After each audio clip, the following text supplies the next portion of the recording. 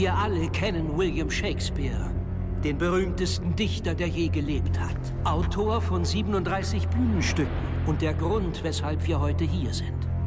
Was aber, wenn ich Ihnen sagte, Shakespeare schrieb kein einziges Wort?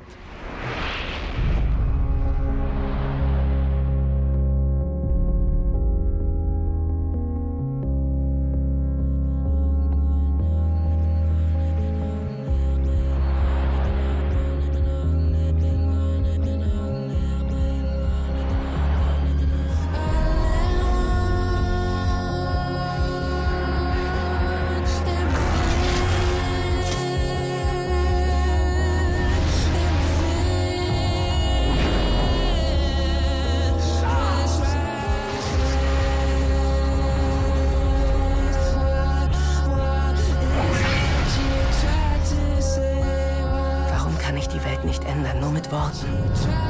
Keines eurer Gedichte, kein Bühnenstück wird je euren Namen tragen.